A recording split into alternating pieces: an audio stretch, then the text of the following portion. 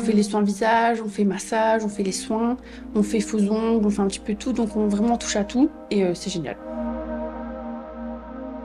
On a notre qualification esthéticienne, on a le CESS et on a notre gestion. Donc j'aimerais euh, faire des formations, tout ce qui est massage au pierres chaudes, massage thaïlandais, etc. Euh, ben, moi, mes rêves, ce serait d'ouvrir une chaîne de centres d'esthétique wellness. Ça paraît un peu fou, mais avec des spas, des saunas, un peu comme dans les hôtels. Lancez-vous parce que en soi, on n'a rien à perdre et c'est en attendant trop qu'on perd du temps. Donc, et le temps, c'est de l'argent.